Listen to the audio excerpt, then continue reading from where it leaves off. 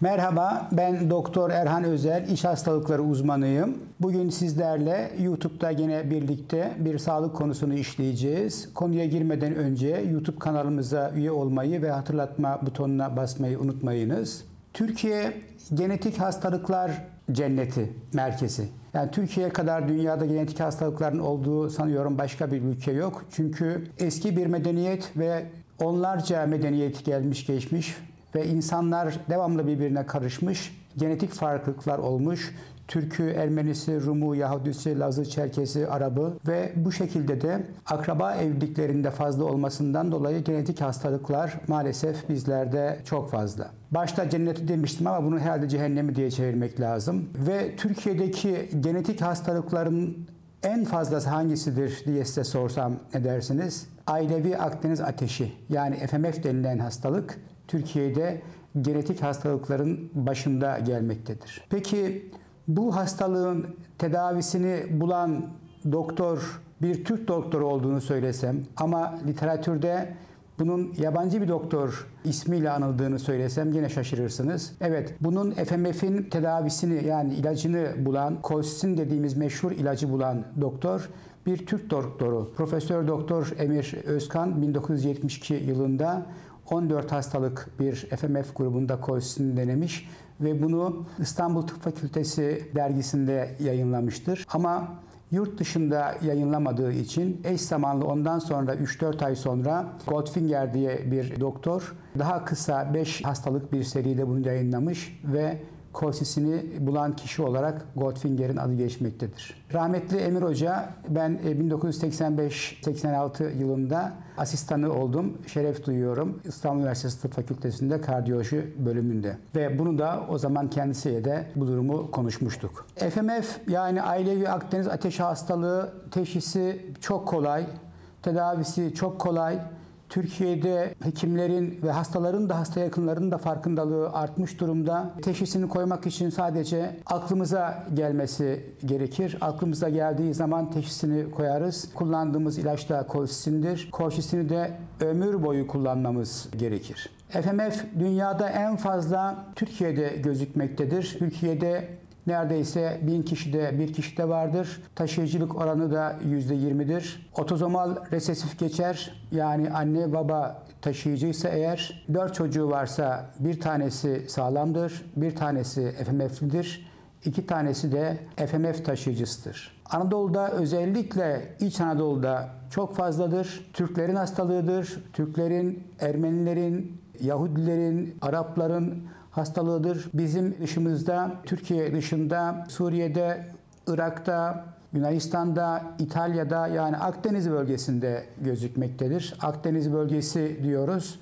Tabi Karadeniz bölgesinde de gözüküyor sonuçta biz Türkiye olarak Akdeniz bölgesindeyiz. Kolsisin tedavisi burada çok önemli. Ucuz da bir ilaç. Kolsisin FMF'li hastalarda %60 tam remisyon sağlamakta. Yani hastaları tamamen şikayetlerini ortadan kaldırmaktadır. Tedavi ediyor demiyoruz. Çünkü kolsisin ömür boyu kullanılacak bir ilaçtır. Bunu hastalara bu şekilde vurgulamak lazım. Çünkü hastalar zamanla karın ağrısı, ateş şikayetleri azaldığı zaman ilaçlarını kesmektedir. İlaçlar ömür boyu kullanılacaktır. %30 tam faydalı olmakta, %35-40 civarında ise kısmi fayda sağlamakta, %10'unda ise bir direnç vardır. Otozomalar resesif geçer demiştik. 16. kromozomun kısa kolunda bulunur bu Mediterranean fever geni. Bunun 20 tane neredeyse mutasyonu vardır. Bu mutasyonlardan özellikle M694 ve M6801 ve V726A, E148Q mutasyonları amiloidozla gidebilir. Özellikle 694V olanlarda yani genetik e, tarama yapıldığında bu mutasyonu olanların amiloidoza daha yatkın olduğunu biliyoruz. Tedavisinde kolsisin demiştik. Kolsisin bir güz çiğdem denilen bitkiden elde ediliyor. Günlük dozu ortalama 1 ila 3 mg'dır. Türkiye'de 0,5 mg'lık draşeleri vardır. Günlük 1-1,5-2 mg civarında kullanıyoruz. Her hastanın durumuna göre değişebiliyor. Hastanın tedaviye direnci varsa dozunu arttırıyoruz. Fakat dozunu arttırdığımızda da ilacın yan tesiri konusunda uyanık olmamız lazım. Bulantı, kusma, ishal ve nefrotoksite ve nöropati ve pansitopeni, lokopeni açısından uyanık olmamız gerekir. Peki bu FMF dediğimiz hastalık nasıl ortaya çıkıyor, nasıl başlıyor? Özellikle 5-15 yaş grubu arasındaki çocuklarda ortaya çıkıyor. Çocukluk hastalığıdır. 40 yaşından sonra pek görmüyoruz. Genellikle ateş olur. Ateş, karın ağrısı, eklem ağrıları, diz, ayak bileğini tutabilir. Bacaklarda erzipel, yılancık benzeri lezyonlar meydana gelebilir. Bunlar 24 saat içerisinde veya 96 saat içerisinde kendiliğinden gerileyebilir. Sonra sessiz bir döneme girer. Tanıyı koymak için kişiyi ağrılı ve şikayetli dönemlerde yani ateşli, karın ağrılı, bu karın ağrısının sebebi poliserozit yapıyor. Yani peritonda iltihap yapıyor gidiyor. Pleurada iltihap yapıyor, perikartta iltihap yapıyor, perikardit yapabiliyor. Overlerde, testiste iltihap yapabiliyor. Onun için bu ataklar esnasında hastayı görmek lazım. Bu ataklardan sonra da hastanın iyilik dönemini görüp mukayese edip klinik olarak şüphelenmek gerekir. Ataklar 1 ila dediğim gibi 4 gün arasında sürmekte. Atak dışında hasta son derece rahattır. Herhangi bir şikayeti yoktur. Atak esasında yapacağımız bir tanı kriteri var mı? Maalesef yok ama akut faz reaktanları yükselmektedir. Bunların içerisinde bizim için en önemli olanı CRP yüksekliği ve serum amiloid A yüksekliğidir. Bunlar genelde atak dışı dönemlerde düşerler ama bazı vakalarda atak dışı dönemlerde de bu akut faz reaktanlarının yüksek gittiği olmaktadır. Kolsisin bunlarda %60 tam %35-40 kısmı remisyon sağlıyor demiştik. Kolsisin kullanmaktaki amacımız ne? Bu hastalar eğer kolsisin kullanmazsa tedavi edilmezse böbrek yetmezliğiyle, amiloidozla yani serumda amiloid A denilen bir protein ortaya çıkmakta. Bu da gidip nefropati yapmakta böbrek yetmezliği yatmakta. Hastalar böbrek transplantasyonuna kadar, dialize kadar gitmektedir. Teşhisini rektal biyopsi veya böbrek biyopsisiyle koymaktayız. Peki amiloidoz gelişmişse ve tedaviye direnç varsa ne yapıyoruz? O zaman biyolojik ajanları tercih ediyoruz. Biyolojik ajanlardan en fazla canakinumab, anakinra,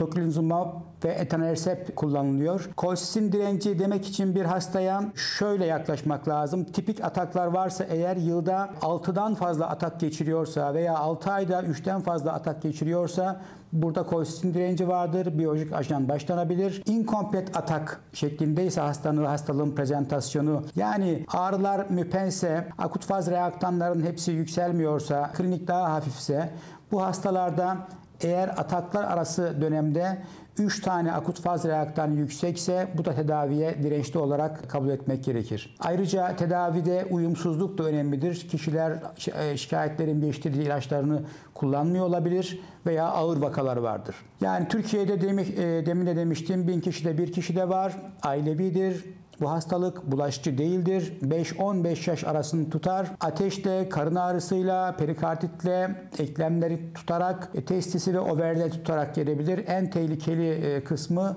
amiloidoz yapmasıdır. Tedavide kolsisin kullanıyorduk. Kolsisine ayrı parantez açarak bitiriyorum. Kolsisin ayrıca FMF dışında daha önce de anlatmıştık. Gut hastalığında kullanılıyordu. Behçet hastalığında kullanılıyor. Kardiyak perikarditlerde kullanılıyoruz. Hatta son zamanlarda kalp krizini engellediği, kalp damarlarındaki enflamasyonu ortadan kaldırdığı konusunda da yayınlar vardır. Beni izlediğiniz için teşekkür ederim. Sağlıkla, sağlıcakla kalın.